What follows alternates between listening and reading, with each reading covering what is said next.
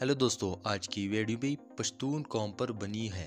आज इस वीडियो में मैं पूरा कोशिश करूँगा कि पठान कौम को मज़ीद एक्सप्लोर कर सकूँ और आप लोग मज़ीद जानेंगे पठान कौन होते हैं। अगर तारीख पर नज़र डाला जाए तो हमको मुख्तलिफ़ किस्म के नज़रिए मिलेंगे और मुख्तलिफ़ भी होंगे एक दूसरे से। नाजरीन, सबसे पहले हम पठानों के ज़बान के बारे में आप लोगों को बताते चले कि ये ज़बान कहाँ से वजूद में आया। नाजरीन गिरामी, बताया जाता है कि हज़रत सलेमान सलाम के बेटे अफ़गान, जिनको जन्नात की ज़बान से प्यार हो गया था और अफ़गान ने ने अपने वालिद हज़रत सलेमान सलाम को बताया कि जन्नात को बताया कि वो मुझे इनका ज़बान सिखाए। अपने बेटे अफ़गान के इसरार पर हज़रत सलेमान सलाम ने ऐसा ही किया। वो ज़बान फिर पख्तून के नाम से जानी गई।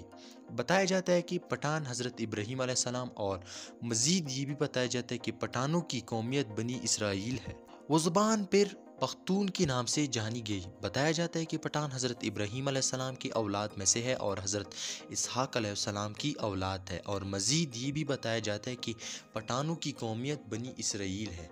और अब मैं ये बताता चलूँ कि जब हजूर अक्रम वसल्लम ने तबलीग दीन शुरू कर दी, लोग जोक दर जोक इस्लाम कबूल करने लगे। तो उस वक़्त पठान कौम का सरदार, जिसका नाम कैस अब्दुल रशीद था, जिसने हजूर अक्रम वसल्लम के सामने आकर पूरी कबीली के साथ इस्लाम कबूल कर लिया।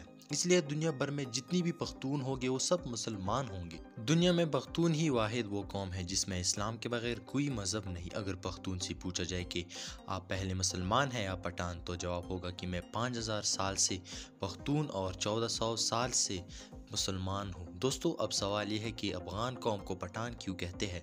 तो जब कापिरों ने मक्का मक्का मकरमा पर हमला कर दिया तो हज़रत मोहम्मद सल्लल्लाहु अलैहि वसल्लम ने हज़रत खालिद बिन वलीद रज़ी तु को हुक्म दिया कि जाओ अपने अफ़गान, अफ़गानियों को जिहाद के लिए बुलाओ। खालिद बिन वलीद अफ़गानिस्तान चले गए और अफ़गानिस्तान अफ़गान सरदार कैस अब्दुल रशीद को हजूर वसलम का पैगाम अरसाल किया। कैस अब्दुल रशीद की क़्यादत में लश्कर मक्का की तरफ़ रवाना हुआ। शाम को सहाबियों ने खुशबरी सुनाई कि अफगानी लश्करों ने कत्लेआम शुरू कर दिया और काफिरों का खात्मा कर दिया। और मक्का मकरमा को अफगानियों ने पतख कर लिया है। तो इसी ही वक्त हजूर सल्लम की ज़बान ज़बान मुबारक पर ये अल्फाज आए बतान नाजरीन बतान लफ्ज़ अरबी में सख्त तरीन लकड़ी को कहा जाता है और ये लकड़ी समुद्री जहाज़ों में इस्तेमाल होती है, जो कभी ख़राब नहीं होती। लफ्ज़ जब पैगंबर सल्लम ने किया तो ये बरसग़ीर कश्मीर तक पहुँचा तो बतान से पठान हो गया और इसलिए इसको पठान के नाम से जाना जाता है इस कौम को। दुनिया में पठान गैरत के नाम से जाने जाते हैं।